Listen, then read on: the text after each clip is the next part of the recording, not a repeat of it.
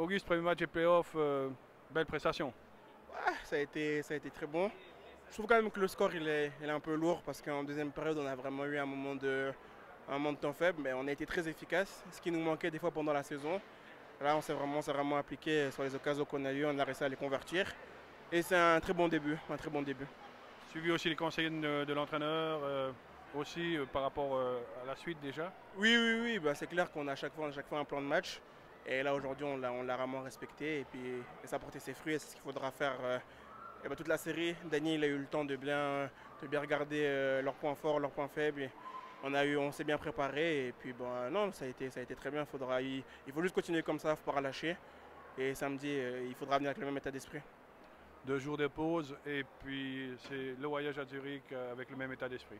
Oui, oui, oui, je pense même qu'il faudra, il faudra même faire encore plus parce que là, euh, ben, ils vont nous attendre, ils vont nous attendre. C'est à nous là de bien récupérer, de bien se préparer. Et samedi, euh, il faudra encore donner encore plus parce que la deuxième, elle sera, elle sera encore plus dure à aller chercher. Auguste, bonne chance pour la suite, à bientôt.